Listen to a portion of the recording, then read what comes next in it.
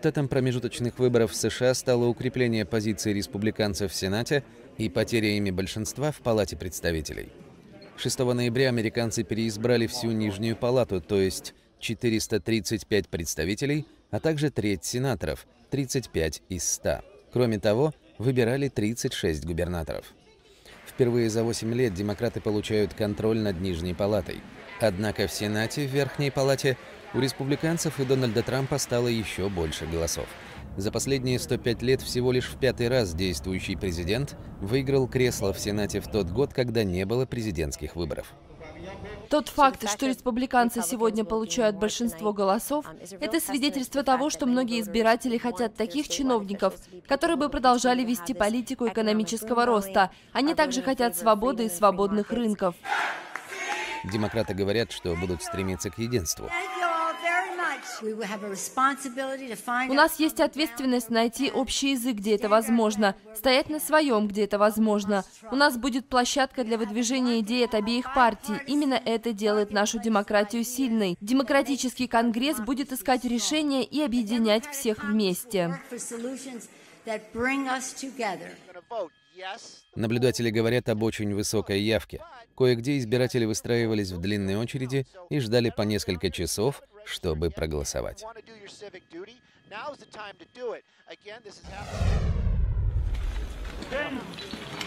В Марселе продолжают разбирать завалы на месте обрушения двух зданий. Задействовано около 90 специалистов. Пожарные сообщили, что обнаружили тела четверых человек. Ранее прокурор Марселя сообщил, что под обломками могут находиться до восьми человек.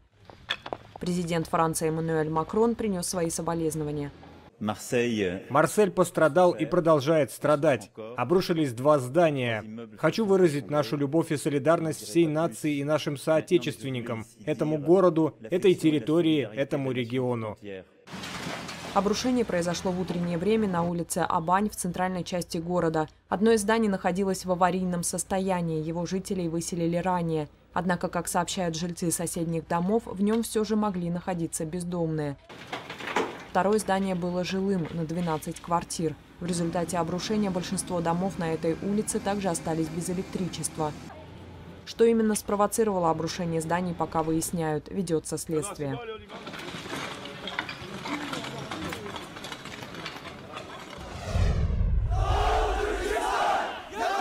Стамбуле протестуют этнические уйгуры.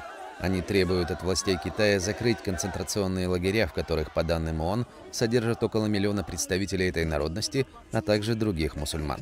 Протест организовало Движение прав человека и правосудия. Если мы и мусульмане по всему миру будем продолжать спать, то преступления будут продолжаться. Если мы проснемся, объединимся, станем сильнее и выступим против них, то все изменится. Эта жестокость не прекратится, пока мы будем ей потакать.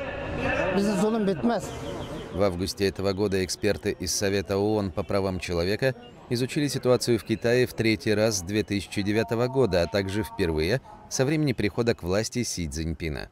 Они сфокусировались на положении этнических меньшинств, в частности уйгуров и тибетцев. Эксперты сказали, что получили много достоверных свидетельств о том, что в заключении в Китае содержат около миллиона этнических уйгуров. Они также сказали, что их, вероятно, помещают в концентрационные лагеря, существование которых власти держат в секрете. Мы задокументировали пытки, жестокое обращение. Исключения не делали ни для беременных, ни для пожилых. Людей заставляют изучать партийные догмы, изречения Си Цзиньпина, мандаринский язык, а также петь патриотичные песни. Их лишают языковой, религиозной и культурной идентичности. Коммунистические власти КНР говорят, что подобные лагеря – это на самом деле центры профессиональной подготовки для так называемого политического образования и что эта инициатива должна помочь экономическому росту и социальной мобильности в регионе.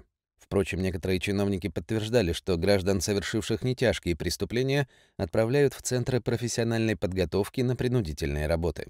В прошлом власти также заявляли, что в Синьцзяне действуют исламистские боевики и сепаратисты.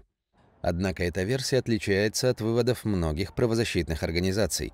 По их данным, Компартия КНР проводит массовые репрессии этнических и религиозных меньшинств, включая тибетцев, уйгуров и последователей домашних христианских церквей. При этом самой большой группой узников совести в Китае в настоящее время считают приверженцев фалуньгун – медитативной практики совершенствования.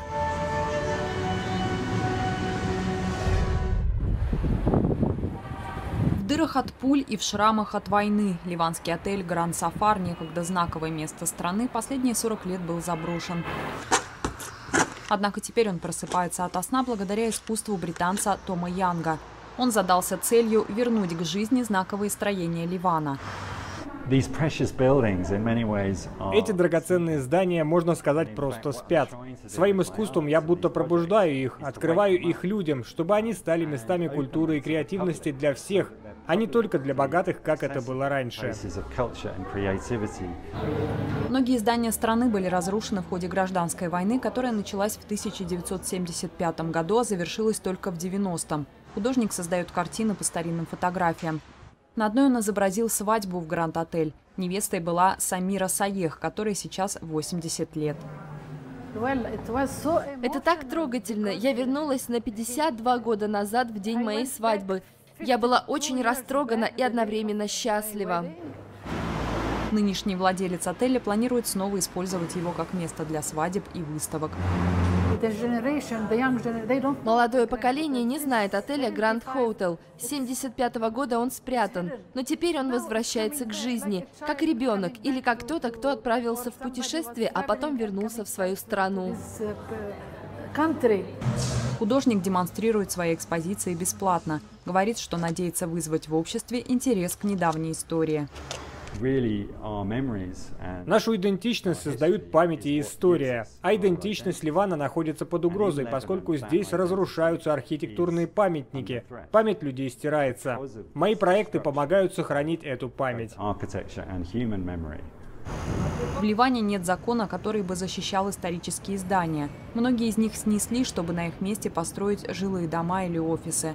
В 90-х годах в Бейруте было 4200 архитектурных памятников. До наших дней уцелело около 250.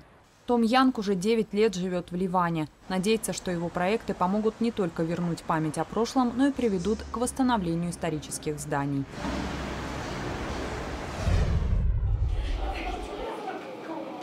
Главное меню этого московского антикафе – общение с прирученными совами. В российской столице это первое учреждение такого рода. Здесь живут 11 хищных птиц.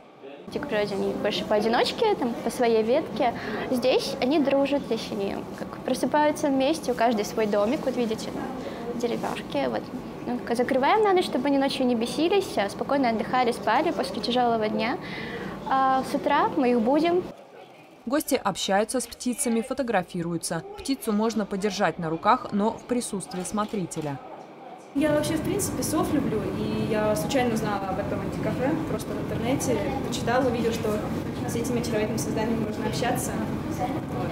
Я вообще хотела себе домашнюю совушку, но пока нет такой возможности, к сожалению. Вот. Ну, хотя бы так можно пообщаться. Открыть совиное кафе было нелегко.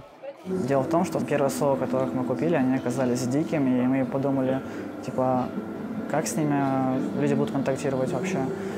Надо их приручать.